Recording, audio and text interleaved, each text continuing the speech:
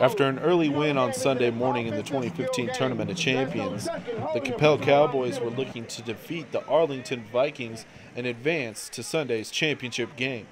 The Cowboys came out on top 39 to 33 in a very tight and competitive matchup with the Vikings.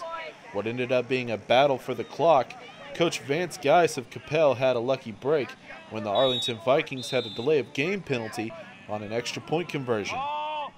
Uh, we knew it was going to be like this back and forth, that a play or two here on defense and and being effect, you know, efficient on offense. That's the biggest thing there. We figured, we talked at halftime, last team with the ball was going to win the game. And you could see they were kind of stalling out here, and they stalled out and got a delay a game, or they could have went for an extra point and been up 34-33. But you know that was a, a mental mistake that they made by going for delay of game. So it left the window open for us that if we score, we, we move on.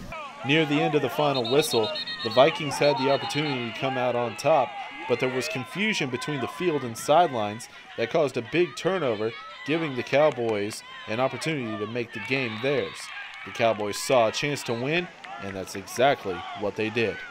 Huge. I mean, it was huge because they were down.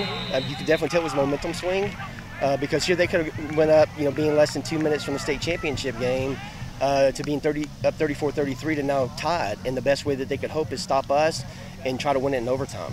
So they left the window open for us. If you leave the window open for us, we are going to go through it. After this huge victory for Geis and his team, the Cowboys plan on going into the championship match just like any other game. It's going to be no different than what we've played the first few games today. I mean, that's, it's going to be like that. It's going to come down to who's, who uh, who executes the most on offense, who can make a couple stops on defense, and probably the last team with the ball, that has the ball will have a chance to win the game. Championship. Let's go!